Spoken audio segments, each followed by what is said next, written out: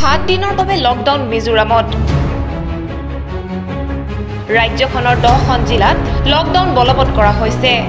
ভয়াৱহভাৱে corona ৰোগীৰ সংখ্যা দেশত বৃদ্ধি পোৱাৰ প্ৰতি লক্ষ্য ৰাখি লকডাউন ঘোষণা মিজোৰামৰ। কভিড সংক্ৰমণ ৰোধৰ বাবে এই কঠোৰ পদক্ষেপ মিজোৰাম চৰকাৰৰ। লকডাউনৰ সময়ত ৰেহাই দিয়া হৈছে অত্যাৱশ্যকীয় সেৱাসমূহ। উল্লেখ্য যে বৰ্তমানলৈকে মিজোৰামত কভিড আক্ৰান্তৰ সংখ্যা চাৰি হাজাৰ নশ চাৰিজন Newsdex report The Horizon.